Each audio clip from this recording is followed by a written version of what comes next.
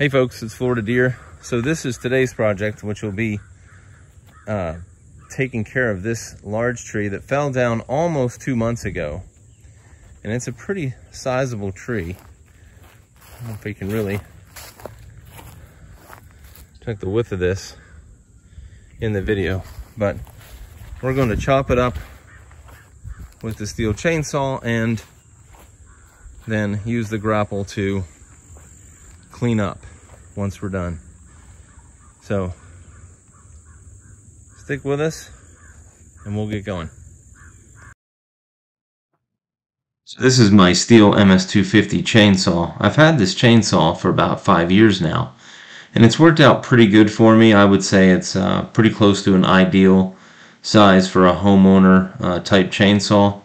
And of course what I'm trying to do here I think is sort of like the difficult or scariest part of the job where you're trying to uh, chop up the tree in a number of pieces but you're also trying to untension the tree as you can see some of these limbs are you know the tree is resting on some of these limbs so we're trying to figure out how to you know release that tension without you know becoming part of the uh, goofy uh, you know video reel of uh, people you know, cutting down trees that shouldn't be cutting down trees, I suppose. You know, they don't have the knowledge to do it or whatever.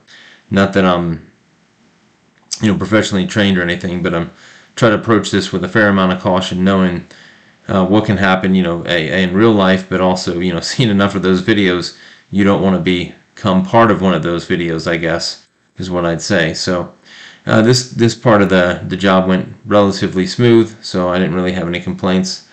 There wasn't anything too scary. There was uh, one sort of very minor close call on something, but that was about it.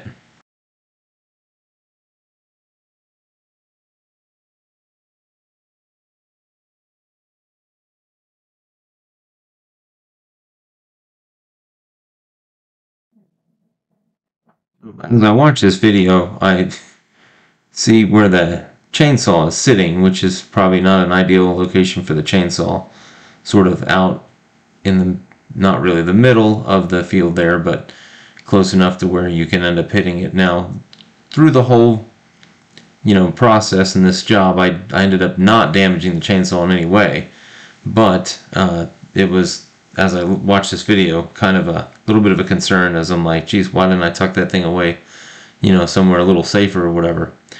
And if you pay attention to my videos, you can see now I'm having to wear a knee brace on my left knee and I'm actually going to get a knee brace for my right knee too which is sort of a bummer. I'm trying to stave off some you know potential knee surgery you know to a little bit further down the line. I refuse uh, to to get any surgeries you know I'm not even 50 yet so I feel like I I shouldn't have to do that yet anyway. And that may I may prove right about that or I may not. And uh, coming up here too is I'm trying to do like a picture in picture of, of two you know two angles of the same job. And I don't have them exactly lined up but you can see that, that I'm pretty close here and uh, it was actually the first time this was the first job I've ever done using a GoPro oddly enough neither of these angles are actually from the GoPro one is my neighbor shooting uh, from her camera, which is the picture-in-picture one, and then I'm actually shooting uh, this other angle from the big picture with the uh, iPhone. So I'm trying to get our work area a little more cleared up here. We're trying to stack the wood in like sort of big, medium, and small size things. And then as you can see here, it's a pretty sizable piece of of the limb that actually went into the ground and not only that far but also you know that wide a, a piece of limb so it was quite an impact when it happened so one of my hang-ups in waiting so long to get the grapple was I figured that the pallet forks could often do much of what the grapple could do. But what you're about to see here as we're about to go picture in picture again, is that the grapple can not just take things from point A to point B, it can also snag things out of a mess and pull them away from, you know, entangled branches and limbs like it's doing right here, which is making the rest of the job easier, and that's something pallet forks can't do. So, grapple 1, pallet fork 0 here. So we've gotten quite a bit knocked out, but now I think it gets a little more tricky as we've cleared out things. And we got these really bigger branches left over. Obviously that one goes right into the ground, probably holding a lot of that up along with that spot right there. Then we got other pieces of wood here, metal gate, this bamboo to deal with. And then the tree goes way up into there. So this will be interesting as things go on. And we finally have some GoPro angles here for you and the operation of the grapple. and I do have a couple different angles. I put it on, on the lower end of the other side of the tractor a little bit later and you'll see one shot where it's basically almost up on the grapple you know, which may or may not have been a, a good advertisement for my buddy let me borrow the the uh, GoPro 10 but in any case uh, I didn't uh, you know, I didn't break it or damage it in any way so I think everything turned out pretty well.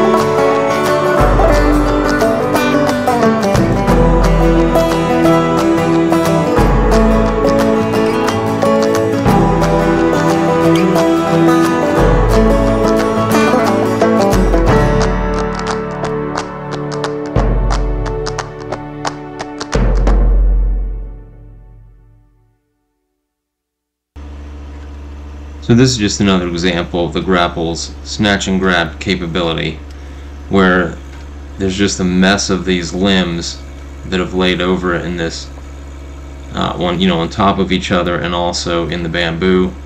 And there, I think there was another tree involved as well. And to have to get up in there and try to cut up and, you know, be in a secure position with good footing and stuff like that, it, it was going to be hard to do. So the fact that I could just go in there with the grapple and grab the ends of the logs and or the you know branches whatever you want to call them and pull them out was hugely helpful to doing uh, this job. I mean it was just so much better than having to try to establish you know work zone up in that mess. So and then there's the chainsaw again. You know precariously positioned in the work site and I end up you know again not damaging it somehow I mean, I certainly saw it every time I passed it. It's not like uh, that was the case, but I've seen people run over them with their tractors. I've seen people drop, you know, trees on chainsaws when they have multiple chainsaws running. And that was another thing, you know, earlier chopping up the chain or chopping up the the branches. I had to be real careful not to pinch my saw because we did not have another saw to unpinch my saw, you know, to release the tree in another location to get out the saw. So uh, when you saw me earlier, I was, you know, being a little easy as I get closer to the edge, you know, the end of, uh, you know, having to deal with that. So that was part of the deal too. And as mentioned earlier, you know, I I think Nina put her little um, uh, tractor cover over the the X320 there, and uh, made it almost right. So anyways we're just dumping the stuff there so we can cut them up and then stack them over in the other areas. That we have designated you know small medium and large branches. So in case any of you are wondering when I don't have the rear PTO or the mid PTO for that matter uh, running I generally will run the tractor around 2500 to 2800 RPM I figure that's a good RPM range to be in not super uh, wide open, although I don't have a problem with running wide open, other than it's just not necessary at certain times when you're not having to carry a lot of speed or run either of the PTOs.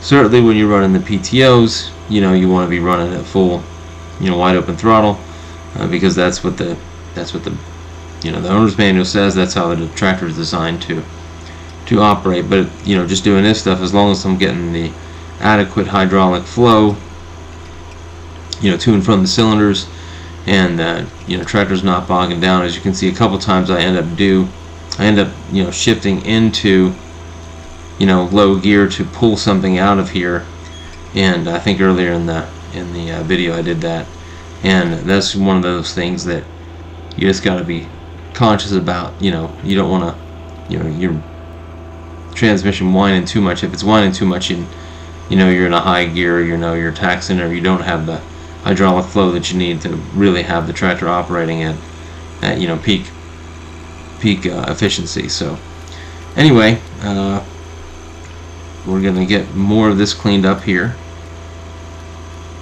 The risk of complaining or the risk of bragging, I will tell you that while we started the day in the 60s, it ended up being closer to I want to say 82 or 83 by the time we finished the project. So that was kind of a bummer. It was January 1st, and the other bummer was it took me, you know, two months to get over there between her schedules and my busy schedule.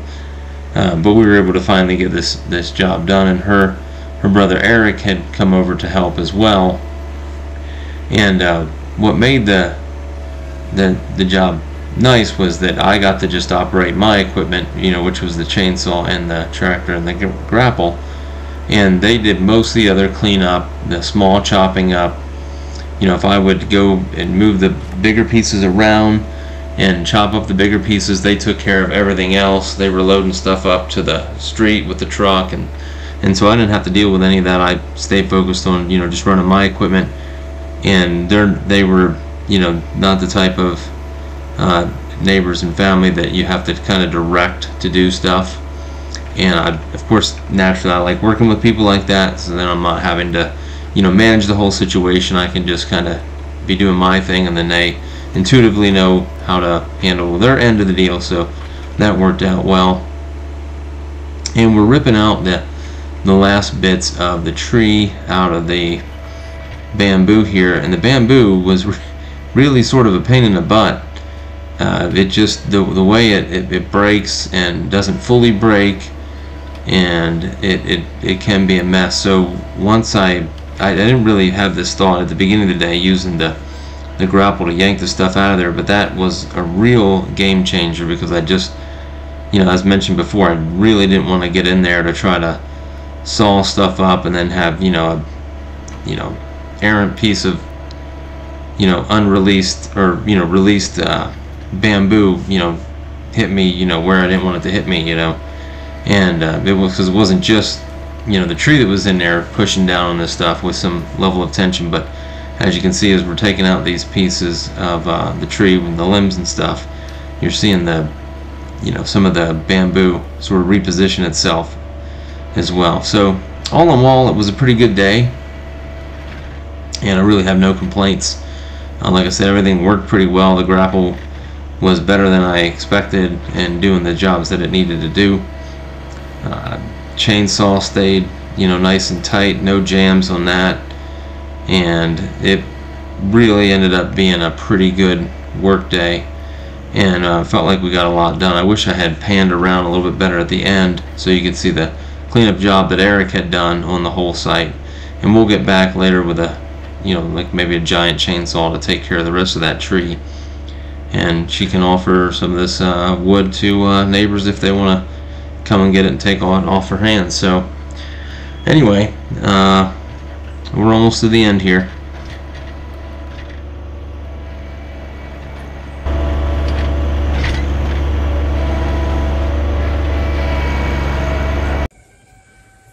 So it's about 3 o'clock and that we won't be tackling today without a much larger chainsaw.